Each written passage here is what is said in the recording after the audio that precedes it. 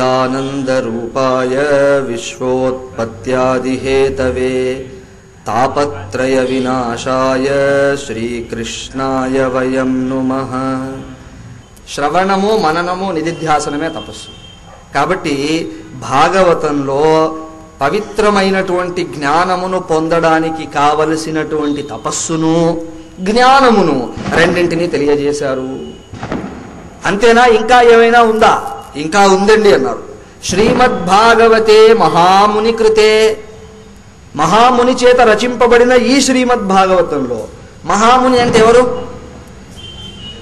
వేదవ్యాసుడు. కానీ ఇంకిద్దరిని కూడా పెట్టవచ్చు మీరు. మహాముని అంటే నారాయణుడు కూడా. నారాయణుడు బ్రహ్మకు ఉపదేశించాడు మొదలు. కాబట్టి మహాముని శబ్దానికి కేవలం వేదవ్యాసుడనే అర్థం కాదు. నారాయణుడు బోధించిన లేకపోతే చతుర్ముఖ బ్రహ్మ నారదుడికి బోధించాడు కాబట్టి చతుర్ముఖ బ్రహ్మ కూడా మహాముని అని పెట్టవచ్చు. లేకపోతే వేదవ్యాసులను పెట్టవచ్చు. వెరసి ముగ్గురు ఒకటే. ఏదో వ్యవహారం కొరకు వేరుగా మాట్లాడుతున్నాం. అలా మహామునికృతమైన ఈ భాగవతము సద్యో హృదయ అవరుధ్యతే. ఏం మాటండి? ఈ భాగవత శ్రవణ మాత్రము చేత సద్య వెంటనే. శ్రవణం చేస్తున్నారంతే వెంటనే పరమాత్ముడు వారి హృదయంలో కట్టివేయబడతాడు అన్నారు పరమాత్ముడు పిలిచేది కూడా లేదు. కృష్ణ నా హృదయంలోకి రా ఇవన్నీ లేదు. దశమ స్కందం చెప్పేప్పుడు విందురు గాని ఆ మాటలు చెప్తుంటే కృష్ణుడు మీ మనసులో కూర్చుని డాన్స్ చేస్తూ ఉంటాడు. అది తప్పదు. భాగవతంలో వర్ణన అలా చేస్తారు. ఆ వర్ణనను శ్రవణం చేస్తున్నంత మాత్రం చేత పరమాత్ముడు యోగి దుర్లభుడైన పరమాత్ముడు ఏ పరమాత్ముడి ముద్రను తమ మనస్సులో క్షణకాలం నిలిపేందుకు యమనియమాసన ప్రాణాయామ ప్రత్యాహార ధారణ ధ్యాన సమాధులు అన్ని అనుష్ఠానం చేస్తే కుదరట్లేదో అలాంటి పరమాత్ముడు భాగవత శ్రవణము చేసినంత వరకు సద్య హృదయే అవబధ్యతే. గట్టిగా కట్టువేయబడతాడు అవరుధ్యతే. అంటే చేయి పెట్టి ఆపితే ఎలా ఆగిపోవాలో అలా ఆగిపోతాడు హృదయంలో. కాబట్టి ఇక్కడ భక్తి అనేటువంటిది కూడా తేలింది. ఆ రకంగా శుశ్రూభి అంటే ఎవడైతే శ్రవణం చేస్తాడో శుశ్రూష చేస్తాడో వాడికి తత్క్షణాత్ ఆ క్షణమే పరమధర్మము జ్ఞానము భక్తి మూడు ఒకదానితో ఒకటి పెనవేసుకున్నదై వాడి హృదయంలోకి ప్రవేశిస్తుంది. ఇంతకంటే ఏం కావాలండి మనకు? Is it right or not కింవా పరైరీశ్వరై అన్నారు. ఇంకా ఇంకే దేవుడు కావాలి మీకు. భాగవతమే దైవం మనకు అంటున్నారు వాళ్ళు. వేరొక భగవంతుడు అనుగ్రహం అవసరం లేదు. ఎందుకంటే భగవంతుడు అనుగ్రహం ఉండనే ఉంది మన మీద. ఉన్నదాని కొరకు మళ్ళా అడుగుతూ ఉంటే భగవంతుడు మాత్రం ఏం చేయగలడు? ఏ అనుగ్రహాన్ని అయితే పరమాత్ముడు మన ఎందు ఆల్రెడీ పెట్టాడో దాన్ని మళ్ళా నాకు ఇవ్వు అంటే ఆయన మాత్రం ఏం చేస్తాడండి? నేను దానికి ఎప్పుడూ సరదాగా ఓ మాట అంటుంటాను. నా ముందు దేవుడు ప్రత్యక్షమైనాడు. నేను ఆయన్ని కోరుకున్నాను స్వామి. Please give me one head on my shoulders అన్న. నాకు ఒక తలకాయ ఇవ్వండి అన్న. దేవుడు నాతో అన్నాడు చేతులు ఎత్తేశాడు ఆయన. నేను ఇవ్వలేను. అదేమిటయా నువ్వు ఏదైనా చేయగలవట? ఘటనాఘట సమర్థుడివట? ఏది కోరితే అది ఇస్తావట? అదంతా కరెక్టే కానీ నువ్వు అడిగింది ఇవ్వలేదు. ఎందుకు ఇవ్వలేనో తెలుసునా? ఒక తల ఆల్రెడీ ఉంది. కావాలంటే దాని మీద ఒక తల కావాలని ఇస్తాం. అంతేనా కదా? God give me one head అన్నప్పుడు he will say already you have that if you want ten heads you tell me I will give and I myself will come to kill you one day okay ఎందుకంటే ten headed fellow will be killed already కాబట్టి ఆ రకంగా ఈశ్వరుడైనా సరే అనుగ్రహాన్ని ఇవ్వు ఇవ్వు అంటే ఇంక ఏముంది ఇవ్వడానికి? ఆల్రెడీ ఇచ్చాడు. ఆ అనుగ్రహం సఫలం అవ్వాలి అర్థమైందండి? ఆ అనుగ్రహం సఫలం అవ్వాలి సఫలం అయ్యేందుకు కావలసిన చర్య చేయకుండా ఈశ్వర ఈశ్వర అంటే ఆయన మాత్రం ఏం చేస్తాడు? అలా భగవంతుడి అనుగ్రహం మనయందు ప్రతిఫలించేందుకు సఫలమయ్యేందుకు ఉన్న మార్గం ఏంటంటే భాగవత శ్రవణం. అందుకే సద్య వెనువెంటనే సద్య వెనువెంటనే తత్క్షణాత్ అదే క్షణంలో సిద్ధింపజేస్తుంది. మిగతా తపస్సులు అలా కాదు. తపస్సు చేసి వెయిట్ చేయాలి మీరు. మీరు చేసే వ్రతాలకు పా ఇత్యాది నోములకు వీటికి ఫలం ఇప్పుడు వస్తుందో ఉత్తర జన్మల్లో వస్తుందో తెలియదు. అంతేనా కాదండి? ఇప్పుడు చేసిన దానికి ఇప్పుడే ఫలం వస్తుందని రూల్ ఉందా? లేదు. కానీ భాగవతం అలా కాదు. శ్రవణము చేశారు ఫలం లభించింది. శ్రవణానికి ఫలానికి దూరం ఏమీ లేదు. తత్క్షణాత్. అయితే ఒక మాట అన్నారు. శుశ్రూషుభిహి. అందరికీ కాదు ఇది. శుశ్రూష చేసేవాడికి. శుశ్రూష అంటే సేవ అనుకుంటాం. సేవ అనేది అవాంతరంగా వచ్చిన అర్థం అది. శుశ్రూష అంటే శ్రోతుం ఇచ్ఛా వినాలనే కోరిక. మరి ఇది సేవగా ఎందుకు మారింది అంటే పూర్వకాలంలో ఈ గురువులు స్కూల్స్ కాలేజీలు పెట్టి బోధించేవారు కాదు. వాళ్ళ పనులేదో వాళ్ళు చేసుకుంటూ ఉండేవారు శిష్యులు వస్తే బోధించేవారు. ఈ శిష్యుడు వచ్చి ఏమనేవాడంటే గురుదేవ నాకు బ్రహ్మ విద్యనో ఇంకో విద్యనో బోధించండి మీరు. నేనేం చేస్తానంటే మీరు చేసే పనుల్లో సహాయపడతాను. మీకు మీకు పనులన్నీ నెరవేర్చి పెడతాను. ఆ పనులు చేయడం వల్ల మీకు ఏదైతే సమయం దొరికిందో ఆ సమయాన్ని నాకు బోధించండి.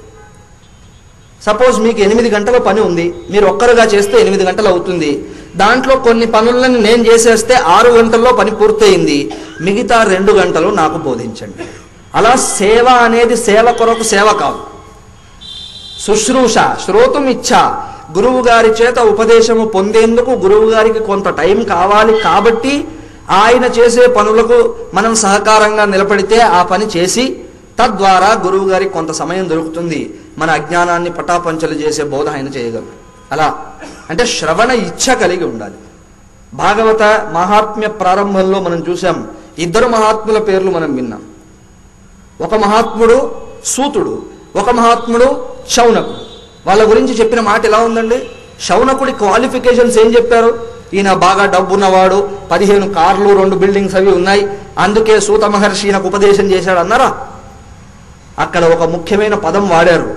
అప్పుడు నేను చెప్పాను కానీ మీకు గుర్తుంటుందనేటువంటి అత్యాశ నాకు ఏమాత్రం లేదు. కాబట్టి మళ్ళా చెప్తాను. శ్రీమద్ భాగవత కథా ర- కథామృత రస కుశల ఆస్వాదన కుశల శ్రీమద్ భాగవత కథామృత రసాస్వాదన కుశల శౌనక దట్ ఈస్ ద బిరుదు అంటే భాగవత కథను అమృతముగా భావించి ఆ అమృతమును ఆస్వాదించుట ఎందు సకల కౌశల్యము కలిగి ఉన్న శౌనకుడికి శ్రీ సూత మహర్షి ఉపదేశించారు. సూత మహర్షి ఎలాంటి వారు? భాగవత రహస్యములు తెలిసినవారు. అలాగే సనకాది ఋషులు స్వయం బ్రహ్మనిష్ఠులు. సనకాది ఋషులు పరమాత్ముడి ప్రథమ అవతారం. అది రేపటి రోజున ఇరవై నాలుగు అవతారాలను మీకు బోధిస్తాను. ఆ ఇరవై నాలుగు అవతారాల్లో చుద్దురు మొదటి నారాయణుడి మొదటి అవతారం ఏంటంటే సనకాది ఋషులు. అలాంటి నారాయణ అవతారమై సకలమైనటువంటి జ్ఞానమునకు నిలయులైనా కూడా భాగవతము ఓ నారదా ఈ ఫలాని చోట చెయ్యి మేము కూడా వస్తాం శ్రవణం కొరకు అన్నారు. అవునా కాదా? అది శ్ర శ్రవణాసక్తి ఉంటే శుశ్రూష అవుతుంది. మనలో ఎంతమందికి శుశ్రూష ఉంటుందో తెలియదు. శ్రోతం ఇచ్చా అనేటువంటిది ఎంతమందికి ఉంటుందనేది ప్రశ్న. నిజానికి ఆ శుశ్రూష అనే గుణం గనక మనలో బయలుదేరితే మనం చేయాల్సిన సాధన సగం అయిపోయింది నేను హిమాలయాల్లో ఒక క్యాంపులో ఈ మాట చెప్పాను.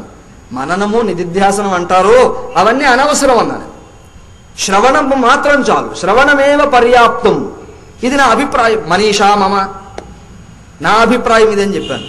అదేమిటి అన్నాం ఎందుకంటే శ్రవణము కరెక్ట్గా జరిగాక మీరు చేయాల్సింది ఏమి లేదు. అదే తీసుకొని వెళ్తుంది మిగతా వాటికి.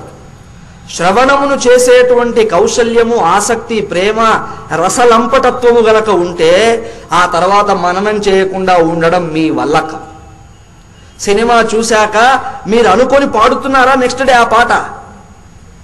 కానీ అయినా పాడేస్తున్నారు నోటికి వచ్చేసింది. ఇది రైట్ ఆర్ నాట్ మననము జరుగుతుందో చూసారా ఎక్కడి నుంచి వచ్చింది అది ఆ వృత్తి ఎవరు కదిపారు? సినిమాని జాగ్రత్తగా చూశాం.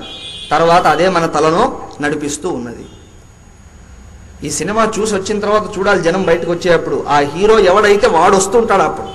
ఆ వందల మందిలో వాడు ఆవేశించి ఉంటాడు కాసేపు. అంతకుముందు అంతకు ముందు వరకు మామూలుగా ఏదో ఈ టూ వీలర్స్ పార్క్ చేసేసి ఉంటారు. ఇప్పుడు మాత్రం వాడు రావడమే స్టైల్గా ఉంటుంది. ఎడం చేత్తోనే తీస్తాడు బండిని కూడా. ఎందుకంటే ఆ సినిమాలో వాడు అలా తీసుంటాడు. ఇదంతా వాడు అనుకొని చేస్తున్నాడా? కాదు. చూడ్డంలో శ్రద్ధ పెట్టాడు. తర్వాతది అదే నడిపిస్తోంది. అలా శ్రవణము గనక సాధకుడు చేయగలిగితే దాని పట్ల కమిట్మెంట్ ఉంటే తదనంతర సాధన వాస్తవానికి లేనట్లే. మీరు చేయాల్సింది ఏమీ లేదు అదే తీసుకుని వెళ్తుంది. కాబట్టి అందరికీ ధర్మము అందరికీ జ్ఞానము బోధ ఒకసారి కలుగుతాయి కాదు. ఒకసారి కలగడానికి రెండు లక్షణాలు కావాలి. ఒకటి నిర్మత్సరుడై ఉండాలి. ఒకరిని చూసి ఈర్షపడకూడదు వాడికి వచ్చేది వాడికి వచ్చింది మనకున్నది మనకున్నది. అందుకే ఇతరుల యొక్క గుణదోష విచారణ ఏ రోజు చేయకూడదు. వాడు మంచివాడు అనొద్దు చెడ్డవాడు అనొద్దు. వాడు మంచికి చెడుకి అంతా వాడి ప్రారంధమే కారణం కాబట్టి ఈ is good appreciate him and keep quiet he is bad condemn him and keep quiet don't ever think of him again అలా ఉండదు. అంతేగాని తప్పు చేసిన వాళ్ళని మెచ్చుకోమని కాదు నా ఉద్దేశం. తప్పు చేశాడు ఖండించండి అంత మాత్రంతో మర్చిపోండి కూడా. అంతేగాని దాన్ని తలలో పెట్టుకొని మోస్తూ పోకూడదు. గుణదోష విచారణ చేసే అధికారము జీవుడికి పరమాత్మనేమి ఇవ్వలేదు. చేయగలిగితే మన గుణదోషాలను చూసుకుంటూ ముందుకు సాగితే అదే ఎక్కువ.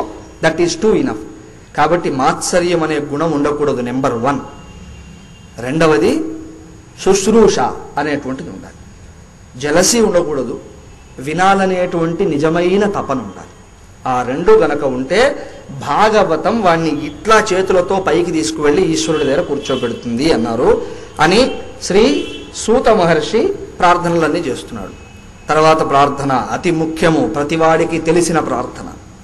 నిగమ కల్పతరోర్గలితం ఫలం సుఖముఖాదమృతద్రవ సంయుతం పిబత భాగవతం రసమాలయం ముహురహో రసికా భువి భావుకా. మహాత్ములు గానం చేస్తున్నారు మనందరికీ ఇన్విటేషన్ ఇస్తున్నారు. అయ్యా రండి. ముహురహ అగైన్ అండ్ అగైన్ మాటి మాటికి ముహుహు ముహుహు. మాటి మాటికి భాగవతాన్ని తాగండి అంటున్నారు ఏమిటయ్యా ఈ భాగవతం? నిగమ కల్ప తరోహ గలితం ఫలం భాగవతం. మొదటి విశేషణం చూడండి. కల్పతరోర్ కల్పతరోహ ఫలం. కల్పతరువు అంటే స్వర్గంలో ఎక్కడో ఉంటుంది. కల్పవృక్షం కల్పవృక్షము యొక్క ఫలం ఇది ఓ అంటే కల్పవృక్షం అని ఒక చెట్టు ఉండి దానికి ఒక పండు పండిందా కాసిందా కాయ? అలా కాదు ఫలము అంటే తినేదే అనుకోదు ఎప్పుడు. పొద్దస్తమానం ఆ బుద్ధి మంచిది కాదు. ఏది చెప్పినా తినేదానికి అన్వయించుకుంటాం. మన మనస్సు నోటు దగ్గరే ఉంటుందండి ఎప్పుడు. ఫలము అంటే పొందేటువంటి ప్రయోజనం అని కూడా అర్థం ఉంది కదా. ఫలము అంటే ప్రయోజనం అనే అర్థం ఉందా? లేదా తెలుగులో ఉంది సంస్కృతంలో ఉంది హిందీలో ఉంది అన్యమైన భారతీయ భాషల్లో ఉంది? ఫలము అంటే ప్రయోజనం. కల్పతరువు యొక్క ప్రయోజనం ఇది కల్పతరువు అంటే ఏమిటి? మీరు ఏ దాన్ని కోరుకుంటే దాన్ని మీకు ఇస్తుంది. కల్పవృక్షం దగ్గరికి వెళ్ళి కల్పవృక్షమా నాకు ఒక గొప్ప సంపద కావాలి ధన భాండాగారం కావాలి అంటే అది వెంటనే ఇచ్చేస్తుంది. అలా మీ చేత కోరబడి ఏది మీకు లభించిందో దాన్ని ఫలము అని అంటారు. రైట్ సార్ నిగమ కల్పతరోహ గలితం అలా మానవులందరి చేత మోక్షము కోరబడుతూ ఉన్నది. అర్థమైందా? మానవులందరి చేత మోక్షమే కోరబడుతుంది మోక్షము కూడా కాదు మోక్షమే. అది తెలుసు చాలామందికి చాలామందికి తెలియదు అంతే. బుద్ధున్న వాళ్ళకి తెలుసు నేను మోక్షాన్నే కోరుతున్నాను. అయ్యా ధర్మము అర్థము అని ఏదో నాలుగు చెప్పారు అవి కోరుతున్నాం కదా. అవి కోరుతున్నట్లు కనిపిస్తున్నది కానీ ధర్మము ద్వారా అర్థము ద్వారా కామము ద్వారా ఎవడైనా సరే కోరుతున్నది మోక్షాన్ని. మొదలు అర్థాన్ని తీసుకుందాం. అర్థము అంటే డబ్బు. తద్వారా లభించే భద్రత. ప్రతివాడు కోరుతున్నాడు అది. భద్రత కావాలి. అయితే ప్రశ్న ఏంటంటే నీకు భద్రత కావాలా? అభద్రత నుండి విముక్తి కావాలా? ఇది వేదాంత ఆచార్యులు సంధించే ప్రశ్న. Are you looking for security or do you want freedom from insecurity tell me చెప్పండి. సెక్యూరిటీ వద్దా ఎవరికి? సెక్యూరిటీ వద్దంటున్నారు ఏంటండి సెక్యూరిటీ అనేది వాస్తవానికి లేదు. Freedom from insecurity is called security కదా? కాబట్టి నువ్వు భద్రతను కోరుతున్నావా? అభద్రత నుండి విముక్తిని కోరుతున్నావా అంటే అభద్రత నుండి విముక్తినే కోరుతున్నాడు. లేదు సార్ నేను భద్రతనే కోరుతున్నాను. ఓకే నీ భద్రత నీకు ఇస్తాము. కానీ నీ అభద్రత అలాగే ఉంటుంది అంటే అప్పుడు ఏమంటాడు? అయితే వద్దా అయితే వద్దా అయితే నా అభద్రత పోతే చాలు. అలాగే నువ్వు సుఖాన్ని కోరుతున్నావా దుఃఖం నుండి విముక్తిని కోరుతున్నావా? నేను సుఖాన్నే కోరుతున్నాను. అయితే సుఖము ప్లస్ దుఃఖము రెండు నీ దగ్గర ఉంటాయి. వద్దు సార్ అలాంటిది వద్దు. నాకు దుఃఖ విముక్తే కావాలి. అలాగే ఉత్తమలోక ప్రాప్తిని కోరుతున్నావా? ఇప్పుడు ఉన్నటువంటి స్థితి నుండి విముక్తిని కోరుతున్నావా? ఇప్పుడున్న అసంతృప్తి నుండే విముక్తి కోరుతున్నాను.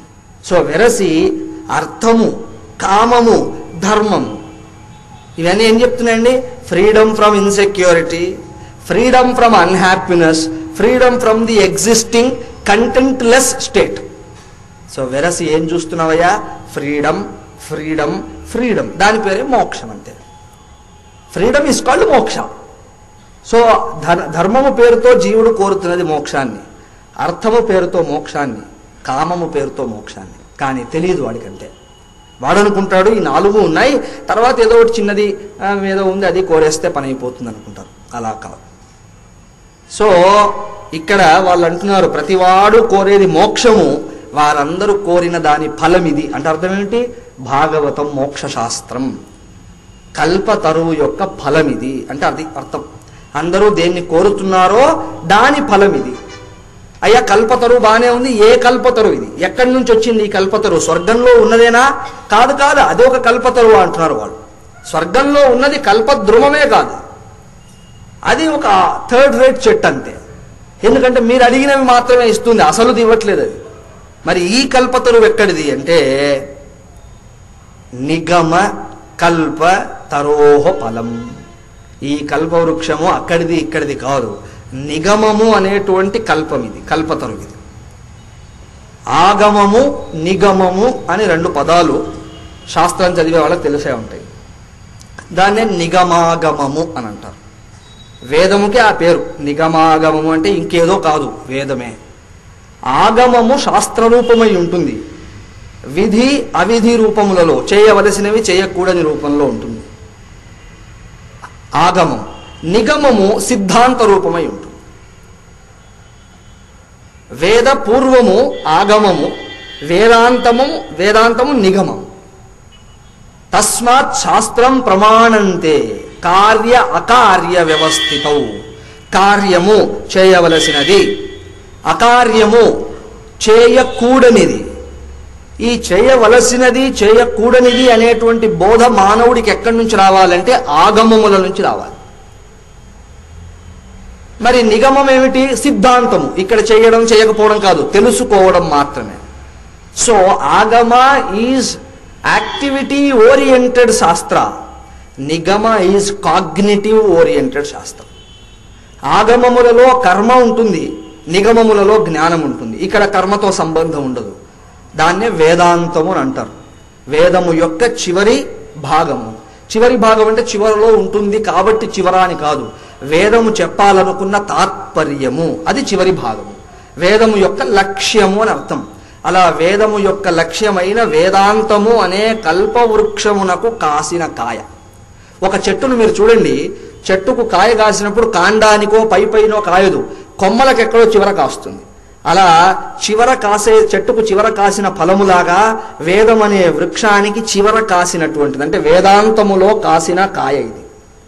నిగమ కల్ప తరోహ ఫలం.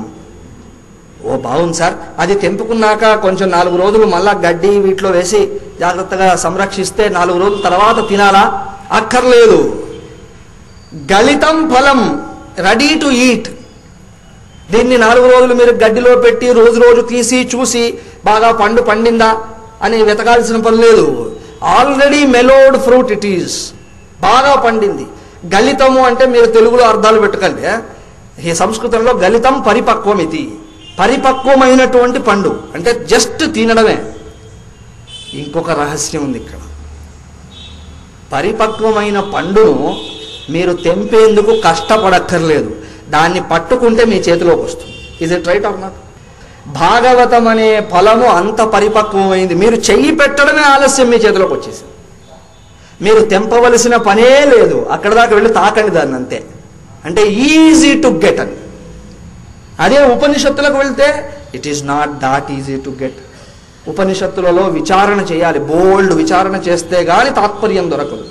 కాబట్టి ఇక్కడ ఈ పండును తెంపడంలో కష్టం లేదు.